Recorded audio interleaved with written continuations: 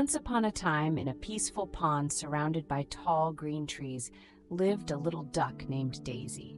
She had fluffy yellow feathers and the sweetest quack you've ever heard. Every day, Daisy loved to swim across the pond and make friends with other animals. But there was one thing Daisy couldn't do. She couldn't fly like her friends, the birds. One sunny day, Daisy decided to practice flying.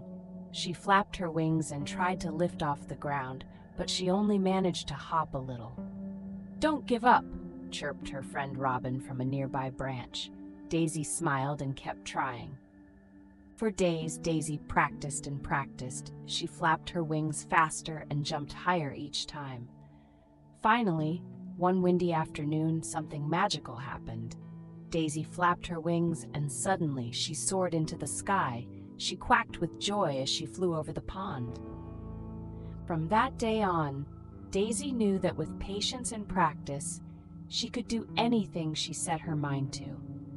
And even though she still loved to swim in the pond, flying became her new favorite thing. Daisy's heart was full of happiness, and she shared her adventures with all her friends.